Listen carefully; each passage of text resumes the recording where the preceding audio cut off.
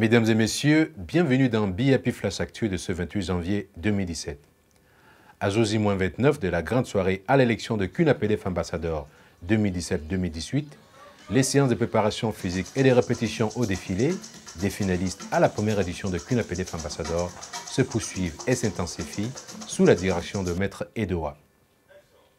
Au cours de leur répétition, les finalistes et les organisateurs ont reçu la visite très attendue de la marraine de l'événement, Madame Joël Capompolé, députée wallonne venue les encourager et leur impulser un souffle nouveau pour persévérer dans l'effort.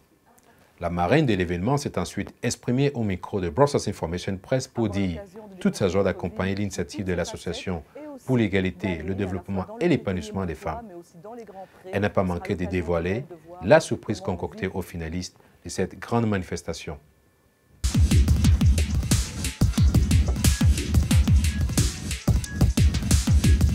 Les semaines se suivent et ne se ressemblent pas, mais il y a une constante, la dynamique des finalistes à la première édition de CUNAPLF Ambassador.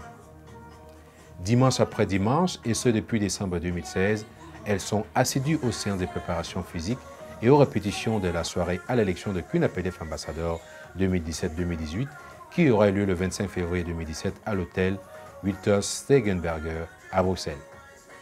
Préparation physique avec un résultat probant, celui d'avoir une belle silhouette, plus fine et plus tonique, par un maître préparateur bien décidé à porter toute son expérience dans la réussite de cette grande manifestation. Nous aurons la chance de pouvoir avoir des, des, très grandes créatrices de la mode africaine pour cet événement qui vont habiller les filles. Alors il faudrait quand même au moins avoir les bases, comme on dit, parce qu'on ne recherche pas une mannequin chez nous, mais on recherche d'abord une fille avec un grand cœur. Et c'est vrai que voilà, à, travers ces grandes créatrices qui viendront pour pouvoir soutenir cette station. Il est de notre choix aussi de pouvoir apporter un peu plus d'élégance et plus de, de, joie de vivre dans différents vêtements qu'elle pourrait mettre.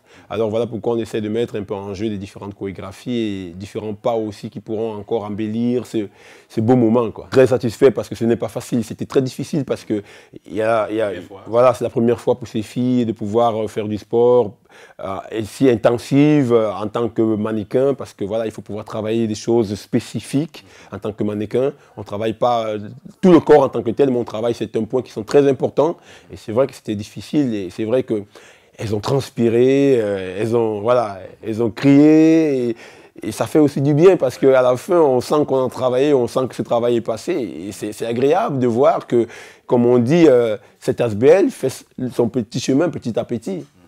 Au cours de leur répétition de dimanche 22 janvier 2017, les organisatrices et les finalistes de Queen APDF Ambassador ont reçu une visite très attendue, celle de la marraine de l'événement, Madame Joëlle Capompolé. L'occasion était unique et spéciale pour la marraine, tout comme les finalistes. Elle n'a pas manqué de féliciter les organisatrices pour une telle manifestation qui met à l'honneur la femme et surtout les idées défendues par l'association APLF en termes d'égalité homme-femme, en termes d'épanouissement de la femme. Aux finalistes, la marraine a rappelé l'importance pour chacune d'elles de prendre part à une telle aventure pour le développement personnel, pour les liens qui pourront se tisser entre elles et les rencontres à venir avec les hauts dirigeants du monde. C'était aussi l'occasion d'annoncer aux finalistes son impatience de les accueillir très bientôt dans la belle ville de Mons.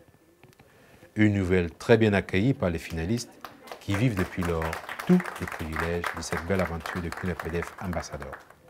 Madame Joëlle Capompolé, députée wallonne, s'est exprimée ensuite au micro de Brussels Information Press pour marquer une fois de plus tout son soutien à une telle initiative. Ce sont euh, finalement 16 jeunes filles, 16 jeunes femmes en devenir qui sont en train de vivre une aventure euh, passionnante, qui vont encore euh, leur permettre, à mon avis, de se développer. Et je trouvais intéressant d'être impliquée dans le développement de plusieurs jeunes femmes et de pouvoir quelque part être leur référence pas uniquement d'ailleurs pour euh, cet événement, mais tout au long de leur vie, qu'elles puissent se dire qu'elles pourront garder le contact avec moi et qu'on pourra échanger tout au long de notre vie. Mhm. Vous avez vu euh, des jeunes, des très jeunes, qui, prennent à bas le corps cette question de la femme, la question de l'égalité homme-femme, la question de, euh, de l'éducation. toutes ces femmes, toutes ces questions en rapport avec la femme, qu'est-ce que ça vous dénote en tant que députée, en tant que femme? Alors, ça me permet en tout cas de mettre en évidence qu'il y a encore beaucoup de travail à réaliser en matière d'égalité homme-femme, que ce soit par rapport à l'égalité salariale, que ce soit par rapport aux chances qu'on peut avoir dans la vie, que ce soit en ce qui concerne l'éducation des enfants aussi, ça les concernera euh, sans doute très vite. Et donc, je pense que c'est vraiment important qu'elles puissent se dire qu'avec un projet comme celui-là, elles auront en tout cas pas mal d'atouts en main pour pouvoir elles-mêmes, encore une fois, se développer et choisir leur parcours de vie.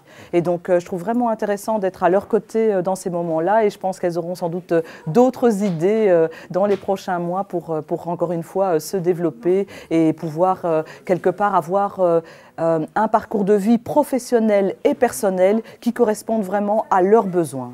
Je pense que votre, votre visite aujourd'hui les encourage et je pense aussi que vous avez concocté quelque chose pour soutenir, pour les booster un peu. Est-ce qu'on peut en savoir, est-ce qu'on peut avoir une idée euh, par rapport à, ça Oui, oui, oui, bien sûr. Avec Yolande, avec Yolande Mandelo, nous avons vraiment concocté un programme pour les accueillir au sein de la ville de Mons. Donc elles vont pouvoir être euh, reçues par les autorités de la ville au niveau de l'hôtel de ville, qui est quand même un magnifique lieu euh, de, la ville. Pas que, on aura l'occasion aussi d'être à l'hôtel Van der qui est un, bel hôtel prestigieux euh, qui a été rénové, ou plutôt euh, construit pour la capitale européenne de la culture. On aura aussi l'occasion de rencontrer des femmes euh, de la ville dans des domaines très variés, femmes entrepreneurs, femmes dans le social, aussi femmes dans la précarité. Donc elles vont pouvoir avoir l'occasion de découvrir notre ville sous toutes ses facettes et aussi d'aller à la fois dans le piétonnier montois, mais aussi dans les grands prés. Ce sera l'occasion pour elles de voir comment une ville se développe aussi via euh, l'attractivité commerciale.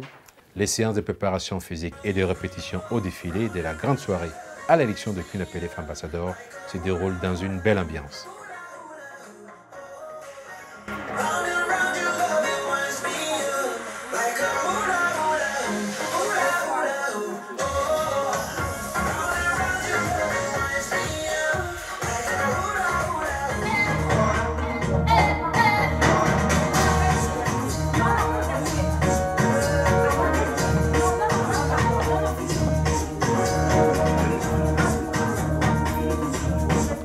Les finalistes à l'élection de QNAPLF ambassadeur 2017-2018 n'ont donc à bien se tenir, car les surprises, y en aura encore.